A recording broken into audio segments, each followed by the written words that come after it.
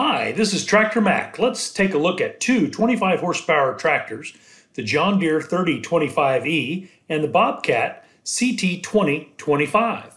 Both tractors are about 25 horsepower, but per the operator's manual, the Bobcat has 25% more PTO horsepower, more PTO power to get more work done.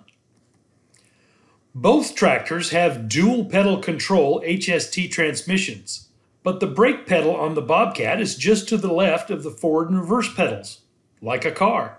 The Bobcat has rubber pads on the pedals for a better grip. The John Deere pedals are just bare cast aluminum. Also note that the CT 2025 comes with a rubber floor mat. The John Deere is plastic. Hydrostatic transmissions allow you to easily adjust the ground speeds, but you need to have enough ranges to do a variety of jobs. The John Deere 3025E has only two ranges versus the Bobcat that has three ranges. John Deere has eliminated the low range, so when you need pulling power, you won't have any. The Bobcat has 6.9 gallons per minute of hydraulic flow, and the John Deere has only 5.3. So the John Deere has 30% less hydraulic flow to operate the loader and the backhoe. The Bobcat loader has 17% more lift capacity and lifts it 13% higher than the John Deere. Get more work done with a Bobcat. The Bobcat 3 point has 20% more lift capacity than the 3025E John Deere. And the Bobcat rear end is made of cast iron, not aluminum. The Bobcat CT 2025 has 20% more built in weight than the John Deere. More weight for added strength and durability. For better comfort, the Bobcat 2025 has an adjustable suspension seat, standard equipment. The John Deere seat sits on non adjustable springs. Both tractors have rear fuel tanks but the Bobcat CT 2025 fuel gauge is on the dash next to the tachometer. The John Deere fuel gauge is on the rear fuel tank. You must twist and turn to see the John Deere gauge.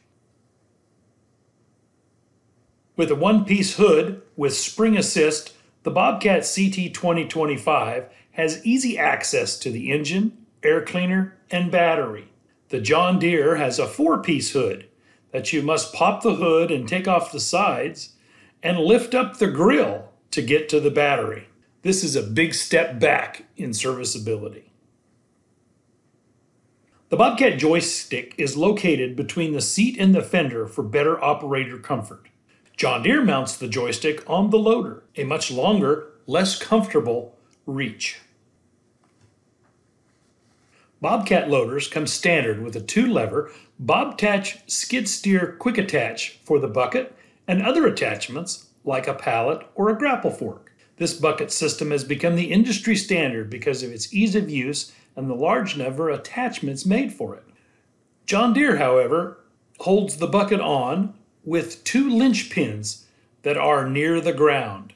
The bucket tilt on the Bobcat loader is a four link style and gives better curl power and better dump angle. It also moves the tilt cylinder away from the bucket to protect it from debris that might come over the top of the bucket. John Deere hooks the cylinder directly to the bucket attachment. From time to time, you may want to remove your loader for better maneuverability, visibility, or for service. The Bobcat loader is a quick on, quick off loader.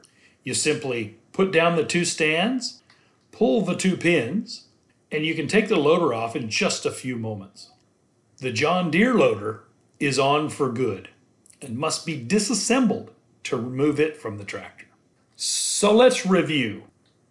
More transmission ranges, more three point capacity, more hydraulic flow, more built in weight, more PTO horsepower, steel hoods and fenders, dash mounted fuel gauge, adjustable suspension seat, a rubber floor mat, more loader lift and capacity and height, a better loader joystick control location, easy loader removal, and the industry standard bucket quick attach.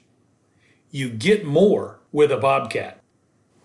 Contact the tractor team at Bobcat of Houston or Bobcat of Brazos Valley for a test drive and fit, see for yourself why Bobcat is one tough animal.